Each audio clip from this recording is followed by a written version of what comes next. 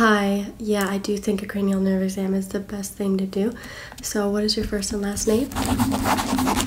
And where did the incident occur? Okay, can you see my finger? Good, let me know if you can see my other finger. Good. Can you tell me when you can't see my fingers anymore? Good. Tell me what fingers are moving.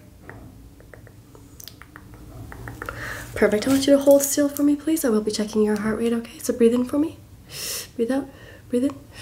Breathe out. Perfect, okay? Don't let me push your shoulders down. Perfect. Tell me if you can hear this. You are beautiful. Good. I want you to smell this for me. Tell me what it smells like. Good. Tell me what this tastes like.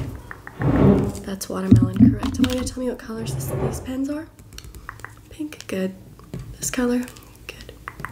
Yellow, good. Stick out your tongue for me, just a quick piercing there. Perfect. All right, follow my finger. Awesome, you passed.